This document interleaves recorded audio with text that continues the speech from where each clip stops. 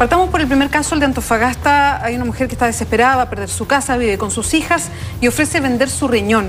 ¿Eso tiene legislación en Chile? ¿Puede alguien vender un órgano? A ver, ni vender el órgano ni eh, arrendar el vientre. Legalmente, a ver, partamos de la base que no hay nada que lo prohíba. No existe una legislación que diga que no se puede arrendar el vientre, que en términos legales es maternidad sustituta y no vientre de alquiler ni hay ninguna legislación que prohíba expresamente la venta de órganos. Sin embargo, sí, como uno tiene que juntar la legislación y en el fondo eh, las normas no son separadas, sino que se juntan para poder entender y interpretar las normas, podríamos decir que ninguna de las dos eh, figuras son legales no están prohibidas, pero tampoco están autorizadas. Y por lo tanto, al no estar autorizadas y no tener un, marco legal que los regule, eh, no podríamos entender qué puede hacerse. En el caso de la venta de un riñón, podríamos entender que está prohibida por la venta de objeto ilícito que establece el Código Civil, que son cosas que están fuera del comercio humano, como lo podría ser los órganos.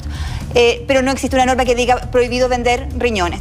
Y en el caso del vientre de alquiler, no existe tampoco una prohibición, una norma que prohíba el arriendo del alquiler.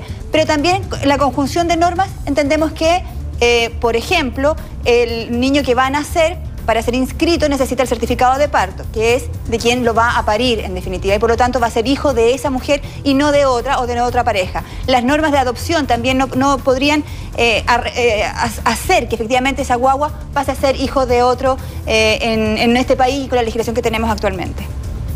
Eh, yo quería preguntarle qué jurisprudencia existe en Chile respecto de estos casos, porque es bien interesante el, camino que se abre en las interpretaciones cuando nos dices no hay nada que lo prohíba, eh, no hay nada tampoco que lo, que lo autorice, que lo valide. Por ende, me imagino que pudieran armarse discusiones legales bien, bien feroces en torno a los dos temas. A ver, en jurisprudencia no existe ninguna, sobre todo porque en Chile eh, los médicos, sobre todo, no autorizan esto. No, a ver, entendamos que para, tener, para poder ser padres existen digamos, eh, fácilmente tres vías. La vía biológica, la adopción y la vía asistida médicamente.